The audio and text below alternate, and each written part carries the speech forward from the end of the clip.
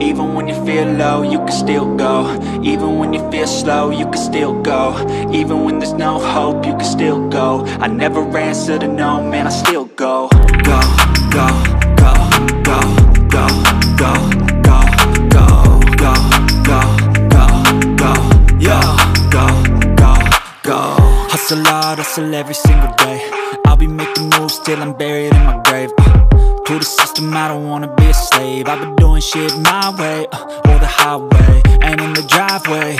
Is a nice range Cause I grind through the climb, I invite Halo. Assalamualaikum warahmatullahi wabarakatuh. Kembali lagi di Sobat Moto.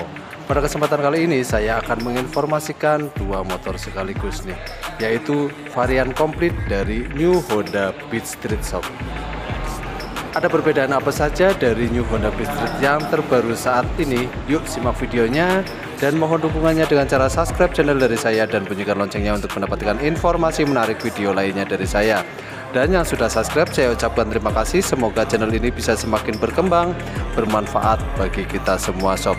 Dan bagi teman-teman yang ingin memodifikasi sepeda motornya baik dari merek Honda ataupun merek yang lainnya saya sertakan link toko variasi yang ada di kolom deskripsi shop dan bagi teman-teman yang menginginkan membeli sepeda motor Honda terbaru khususnya untuk daerah Ketanggungan Brebes dan sekitarnya saya teman-teman bisa menghubungi kami dengan cara meninggalkan pesan lewat kolom komentar shop ya di depan ini merupakan New Honda Beat Street yang terbaru saat ini ya di mana keduanya ini merupakan uh, warna terkomplit pada saat ini.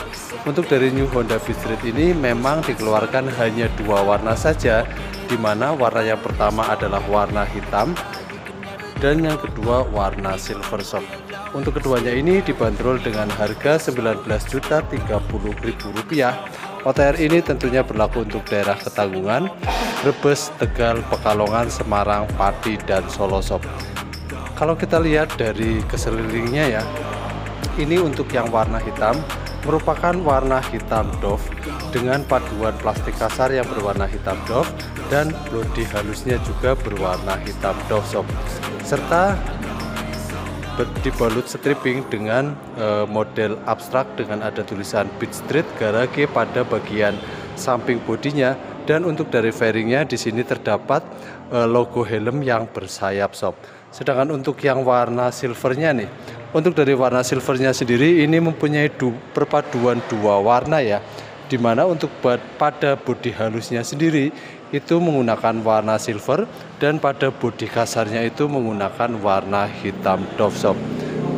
Kalian suka yang mana? Perpaduan dari warna silver atau warna hitam ini sob? Silahkan tulis di kolom komentar sob untuk dari spesifikasinya, spesifikasinya sendiri ini sama ya keduanya hanya membedakan yang membedakan hanya warnanya saja. Untuk dari bagian depannya dulu di sini terdapat kotakan. Kotakan ini merupakan uh, speedometer atau panel meter ya. Sedangkan untuk dari setangnya ini menggunakan setang yang telanjang yang dibalut warna hitam doff sedangkan untuk dari uh, tuas remnya sendiri itu menggunakan warna hitam dan pada pada posisi bagian sebelah kiri di sini terdapat tuas pengunci rem yang berfungsi untuk berhenti pada saat eh, pada di jalanan tanjakan atau di turunan shop. Geser kepada bagian bawah. Nah, untuk dari dudukan plat nomornya sendiri itu menggunakan bodi kasar ya, di mana warnanya hitam doff yang menyerupai dasi shop. Sedangkan untuk dari lampu pencahayaan utamanya sendiri, keduanya ini menggunakan lampu LED. Untuk dari sennya masih menggunakan bohlam biasa. Nah, kita geser kepada bagian bawah atau bagian kaki-kaki di bagian depan ya sob ya. Untuk dari fendernya sendiri atau spakbornya di sini polos ya, tidak ada balutan stripping. Cuman di sini mempunyai uh, spakbor dengan lekukan yang sangat tajam menambah penampilan dari New Honda Beat Street ini terlihat lebih sporty sob. Di sini ada tulisan kombi brake pada uh, spakbornya yang menandakan bahwa motor ini mempunyai sistem pengereman CPS atau kombi brake system. Geser kepada bagian suspensi. Untuk suspensinya menggunakan suspensi teleskopik dengan tabung shock berwarna hitam sob. Dan untuk dari ban depannya sendiri itu mempunyai ukuran 80 per 90 dengan diameter ring 14 dan tentunya sudah menggunakan ban tubeless. Untuk dari segi peleknya sendiri ini merupakan pelek cash wheel ya dengan balutan warna hitam dan untuk palangnya sendiri membentuk huruf Y sob. Sedangkan untuk dari sistem pengereman pada bagian depan ini menggunakan pengereman cakram satu kaliper bermerek Nissin. Untuk dari kalipernya sendiri itu berwarna keemasan sob. Geser kepada bagian fairing depan ya. Di mana untuk fairingnya pada sisi sebelah kiri kanannya di sini terdapat logo atau gambar helm yang bersayap dengan ada tulisan Honda yang berwarna putih dan ada garis abstrak yang berwarna kuning keemasan sob. Geser kepada bagian panel meter. Nah, untuk dari panel meternya sendiri New Honda Beat Street ini sudah menggunakan panel meter yang digital ya. Di mana untuk panel meternya ini sangat lengkap menunya dan mudah sekali terbaca sob. Untuk dari stangnya sendiri pada bagian sebelah kanan di sini terdapat satu tombol saja yaitu tombol starter. Sedangkan untuk tombol pada stang bagian sebelah kiri di sini terdapat tiga tombol yaitu tombol lampu jarak jauh jarak dekat, tombol klakson dan tombol sensor. Untuk dari dashboardnya ini New Honda Beat Street menggunakan bodi kasar ya, di mana untuk dashboardnya berwarna hitam doff dan di sini terdapat dua rak atau dua laci yang terbuka pada dashboardnya sob. Sedangkan untuk dari sistem keamanannya sendiri, New Honda Beat Street masih menggunakan sistem keamanan kunci bermagnet, di mana untuk kuncinya yaitu kunci keris ya atau kunci colok biasa dan untuk dari rumah kuncinya di sini terdapat tombol yaitu seat opener yang berfungsi untuk membuka jok pada saat ingin mengisi BBM atau bensin ya sob ya. Sedangkan untuk dari decknya sendiri New Honda Beat Street ini menggunakan deck rata dengan ada eh, titik-titik uh, atau apa ya eh, garis-garis uh, yang kasar ya sehingga menambah uh, pijakannya itu semakin lebih kesat sob.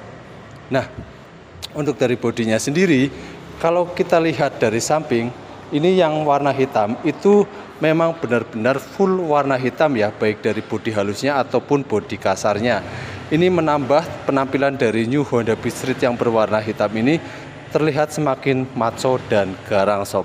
Sedangkan untuk yang warna silver ini terdapat dua kombinasi warna di mana warna silver pada bodi halusnya ini dan warna hitam doff pada bodi kasarnya sob kalian suka yang mana? Untuk dari yang warna silver atau yang warna hitam doff sob untuk dari kaki-kakinya nih untuk dari kaki-kakinya keduanya ini masih menggunakan suspensi monosok atau single shock yang ditempatkan pada sisi bagian sebelah kiri sob. Sedangkan untuk dari ukuran ban belakangnya sendiri yaitu 90 per 90 dengan diameter ring 14 untuk dari segi pengeremannya keduanya masih menggunakan pengereman tromol sedangkan untuk dari mesinnya itu menggunakan mesin ESP BGM FI dengan berpendingin sirip atau udara sob untuk dari mesinnya sendiri itu berwarna hitam doff ya dan hitam doffnya merupakan perpaduan dari warna hitam doff halus dan kasar sob. Sedangkan untuk dari filter udaranya sendiri ini menggunakan bodi kasar ya, di mana di sini ada tulisan ESP dan untuk dari mesinnya sendiri itu masih dibekali engkolan yang berfungsi e, untuk menjalankan motor atau mengeslah pada saat kondisi aki sudah mulai melemah sob. Untuk dari push tab boncengannya ini terlihat lebih mewah. New Honda Beat Street menggunakan push tab boncengan berbahan aluminium dengan model klik ya sob ya untuk pada bagian belakang nih nah dari sistem pencahayaan atau lampu rem pada bagian belakang New Honda Beat Street itu masih menggunakan bohlam biasa baik dari lampu remnya maupun lampu senya itu sendiri sob.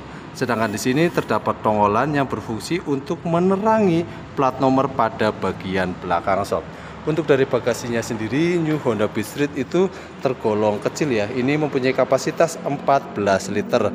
Sedangkan untuk dari tangki bahan bakarnya yaitu 4,2 liter sob. Dan ini merupakan bagel dari New Honda Beat Street di mana bagelnya ini dilapisi karet sehingga menambah uh, lebih empuk pada saat kita pegang sob. Baik, itu saja informasi dari saya tentang New Honda Beat Street edisi terbaru tahun 2022 akhir tahun sob. Terima kasih yang sudah menonton video ini dari awal sampai akhir. Share jika memang informasi ini bermanfaat, like jika memang kalian suka, dislike jika memang kalian tidak suka. Wassalamualaikum warahmatullahi wabarakatuh. Salam satu hati. See you, bye-bye.